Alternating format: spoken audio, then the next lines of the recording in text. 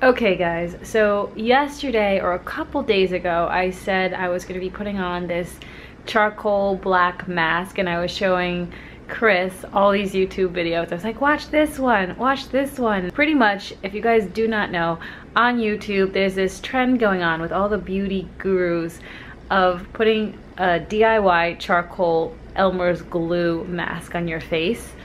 It sounds crazy, I know, putting glue on your face. But when they take it off, not only is it really painful, but all the gook comes out, all the blackheads, everything, and it's really, really cool. I'm a little scared to put it all over because I got a little bit of peach fuzz and things like that and kind of rips out your hair as well. Right now, I have my bowl and I have my little brush and I also have charcoal activated charcoal and then you squeeze your Elmer's glue. You know, the funny thing about this is I went to the dermatologist today and if she knew I was about to take Elmer's glue and charcoal and smear it all over mm-hmm. my face, she probably would have been like, like just given the eye roll or like the, honey, no, don't do it. But I didn't tell her, no one knows, just me and Emmy and now you guys. So first we have the activated charcoal. All these black little pills. So I'm only gonna use, I think about three.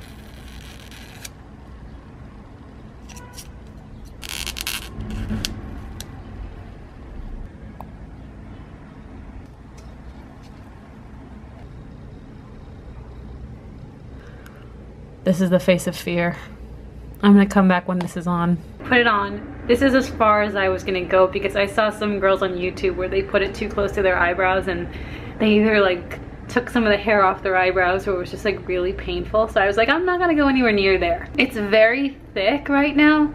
I have to wait for it to dry probably for about 20 minutes, I'm assuming, or 15 minutes. I don't really know. And then I'll try to rip this thing off. Can you see how thick that is? I'm really shiny. It's dry. Stop laughing at me. I'm gonna take this off, I think. I don't know if we can. Oh my god, they weren't lying. This hurts. You okay? Yeah. Ah ha ha ha. Ah. Mm. Okay, just little sections I'll do it. Little pieces, we can do this. Oh my god, it's pulling shit out of my... I'm just gonna do like, like a band-aid. One, two, three. One, two, three. Ooh. Oh my god, ew. I want to get here. This is the part that I want to get. Not like hurt, like I can't take it hurt, but it hurts. Do you hear that, guys? It's taking things off though like a lot of stuff. I'll show a little bit, but not much. Hold on. Guys, do you see that? It's kind of gross. At all this stuff there. I have to completely wash this off, but so far my face feels really freaking soft. Exfoliated, I guess. Ripped off, kind of. I do recommend it. It doesn't hurt as much as people say it does. I mean, at first it feels like that, but once you rip off the first piece, you get used to it. And you're like, okay, I can take this. So, like I said, I really, really like this mask. It was really strange, but I think it did a really good job. It took a lot of stuff out. Um, not everything, but it took out enough that I would do this again. Probably like once a week or once every other week. It definitely kind of made my makeup go on a little bit better, like foundation and stuff. I don't know, maybe it's because it's smoother. Anyway, if any of you guys are out there want to try this, do it tweet us a picture of you trying it. That would be funny, actually.